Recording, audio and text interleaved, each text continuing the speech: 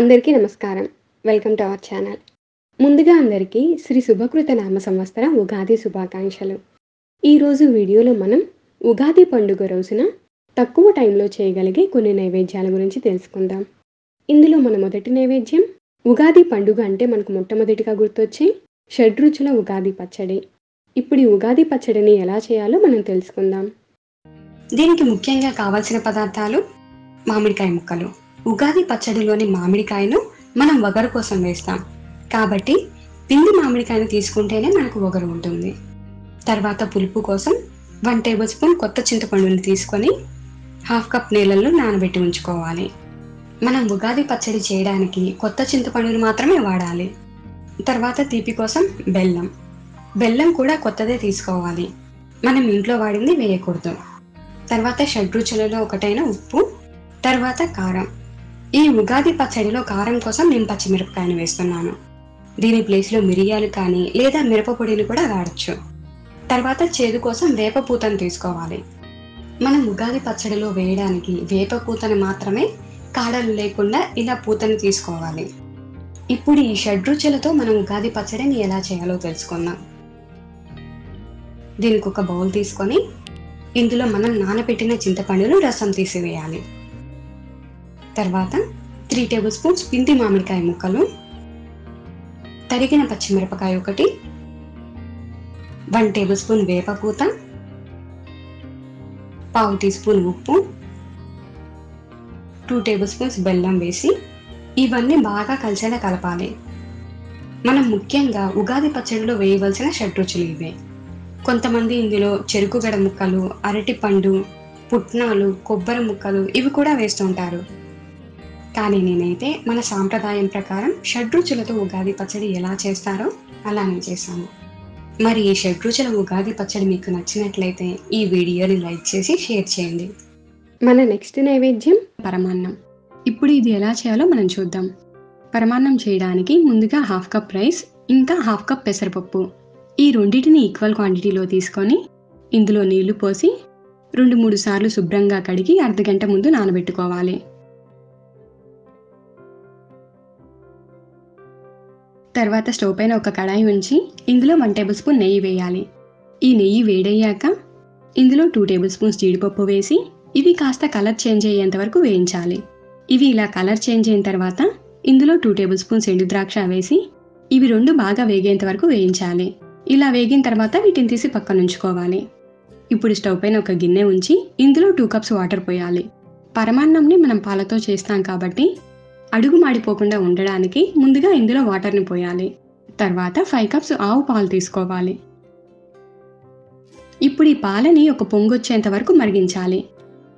పాలు ఇలా పొంగొచ్చిన తర్వాత దీన్ని ఒకసారి కలిపి ఒక వన్ మినిట్ పాటు బాయిల్ చేయాలి. ఇప్పుడు ఇందులో మనం ముందుగా నానబెట్టిన బియ్యం ఇంకా పెసరపప్పును వేయాలి. ఇప్పుడు దీన్ని మధ్య మధ్యలో కలుపుతూ బాగా ఉడికించాలి. రైస్ ఇలా ఉడికిన తర్వాత స్టవ్ని ఆఫ్ చేసి ఇందులో పావు టీ స్పూన్ యాలకుల పొడి. మనం రైస్ ఇంకా పెసరపప్పు ఏ కప్తో అయితే తీసుకున్నామో సేమ్ అదే కప్పుతో ఒకటి పావు కప్పు బెల్లం వేయాలి. ఇప్పుడు ఇందులో మనం ముందుగా నెయ్యిలో వేయించిన జీడిపప్పు ఎండు ద్రాక్ష అలానే వన్ టేబుల్ స్పూన్ నెయ్యి వేసి ఇందులో వేసిన బెల్లం కరిగేంత వరకు బాగా కలపాలి. బెల్లంని ఇలా చివరిలో వేయడం వల్ల పాలు విరిగిపోకుండా మనకు పరమాన్నం పర్ఫెక్ట్గా వస్తుంది.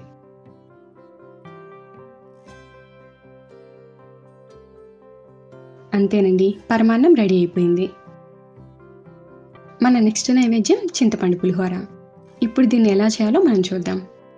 ముందుగా దీనికి హాఫ్ కిలో రైస్ని ఉడికించి ఆరబెట్టి ఉంచుకోవాలి. తర్వాత ఒక పెద్ద నిమ్మకాయ సైజ్ అంతా చింతపండు తీసుకొని ఇందులో వేడి నీళ్ళు పోసి నానబెట్టి ఉంచుకోవాలి.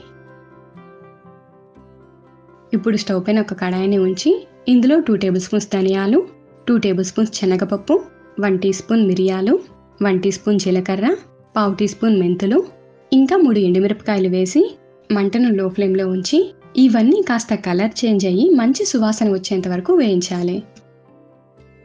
ఇవి కాస్త వేగిన తర్వాత ఇందులో వన్ స్పూన్ నువ్వులు వేసి ఇవి కూడా వేగేంత వరకు వేయించాలి.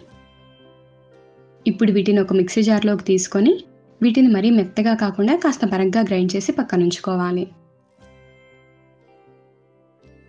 ఇప్పుడు స్టవ్ పైన ఒక కడాయి ఉంచి ఇందులో వన్ స్పూన్ ఆయిల్ వేయాలి. ఈ ఆయిల్ వేడయ్యాక ఇందులో మనం ముందుగా నానబెట్టిన చింతపండు రసం తీసి వేయాలి. అలానే హాఫ్ టీ స్పూన్ పసుపు ఇంకా పులిహోరకు సరిపడా ఉప్పు అలానే ఇందులో వన్ స్పూన్ బెల్లం వేసి మంటను లో ఫ్లేమ్లో ఉంచి ఇది కాస్త దగ్గర పడేంత వరకు కలుపుతూ ఉడికించాలి.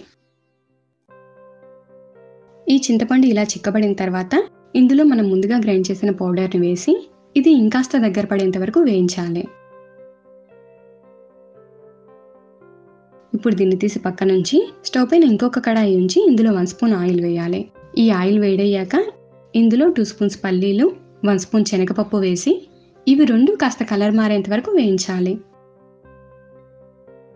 ఇప్పుడు ఇందులో వన్ టీ స్పూన్ ఆవాలు ఐదు పచ్చిమిర్చి చీలికలు ఇంకా రెండు రెమ్మల కరివేపాకు అలానే చిటికెడు ఇంగు వేసి దీన్ని వేయించాలి. ఇవి వేగిన తర్వాత స్టవ్ ఆఫ్ చేసి ఈ పోపుని మనం ఉడికించి ఆరబెట్టిన రైస్లో వేయాలి.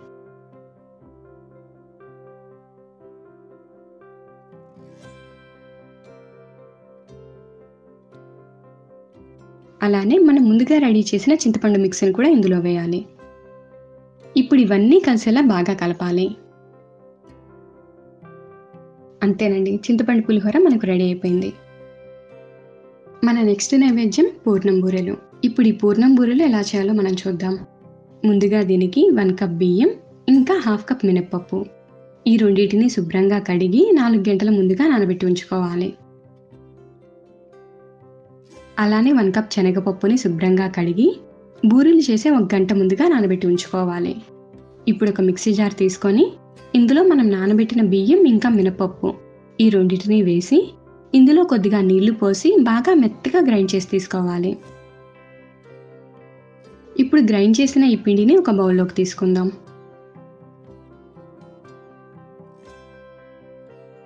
ఇందులో కొద్దిగా ఉప్పు ఇంకా చిటికెడు వంట సోడా వేసి ఈ పిండిని బాగా మిక్స్ చేసి పక్కన ఉంచుకోవాలి.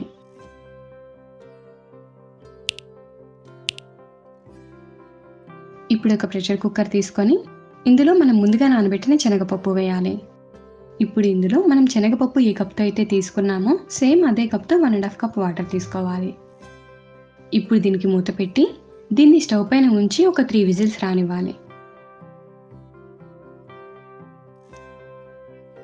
ఈ విజిల్ పూర్తిగా చల్లారిన తర్వాత మూతను ఓపెన్ చేయాలి. త్రీ విజిల్స్కి శనగపప్పు బాగా ఉడికిపోయింది. ఇప్పుడు ఇందులో ఉన్న ఎక్సెస్ వాటర్ని అంతా వంచేసి ఈ శనగపప్పుని ఒక మిక్సీ జార్లోకి తీసుకోవాలి. ఇప్పుడు ఈ శనగపప్పుని బాగా మెత్తగా గ్రైండ్ చేసి తీసుకోవాలి. ఇప్పుడు స్టవ్ పైన ఒక కడాయిని ఉంచి ఇందులో మనం గ్రైండ్ చేసిన శనగపప్పును వేయాలి. అలానే వన్ కప్ బెల్లం. మనం శనగపప్పు ఎంతైతే తీసుకున్నామో సేమ్ అంతే బెల్లం కూడా తీసుకోవాలి. ఇప్పుడు మంటను లో ఫ్లేమ్లో ఉంచి ఈ బెల్లం ఇంకా శనగపప్పు ఈ రెండు బాగా కలిసేంత వరకు కలుపుతూ ఉండాలి. ఇవి రెండు బాగా మిక్స్ అయ్యాక ఇందులో వన్ టేబుల్ స్పూన్ నెయ్యి అలానే పావు టీ స్పూన్ యాలకుల పొడి వేసి బాగా మిక్స్ చేయాలి. ఇప్పుడు స్టవ్ ఆఫ్ చేసి దీన్ని తీసి పక్కన ఉంచుకోవాలి. ఇది కాస్త గోరువెచ్చగా అయిన తర్వాత ఈ పూర్ణంని చిన్న చిన్న ఉండలుగా చేసి పక్కన ఉంచుకోవాలి. ఇప్పుడు ఈ పూర్ణంని మనం ముందుగా గ్రైండ్ చేసి ఉంచిన పిండిలో వేసి బాగా కోట్ చేయాలి. ఇప్పుడు వీటిని మనం డీప్ ఫ్రై చేసుకోవాలి. దీనికి స్టవ్ పైన ఆయిల్ని ఉంచి ఆయిల్ బాగా హీట్ అయ్యాక ఈ పూర్ణం బూరెలు ఒక్కొక్కటిగా ఆయిల్లో వేయాలి.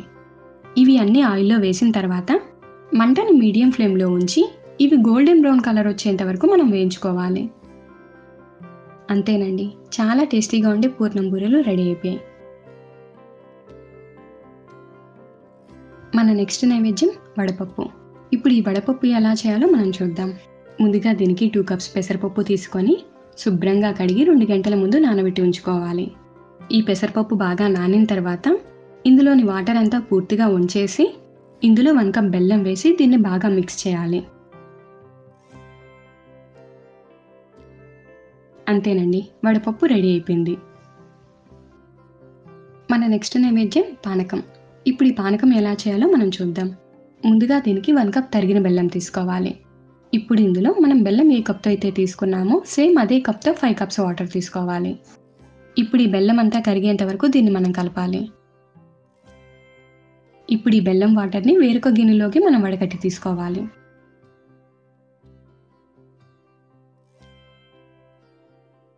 ఇప్పుడు ఇందులో నాలుగు యాలకల్ని క్రష్ చేసి వేయాలి. అలానే వన్ టీ స్పూన్ మిరియాల పొడి వేసి ఇవన్నీ కలిసేలా కలపాలి. చివరగా ఇందులో కొన్ని లేత తులసాకుల్ని వేయాలి.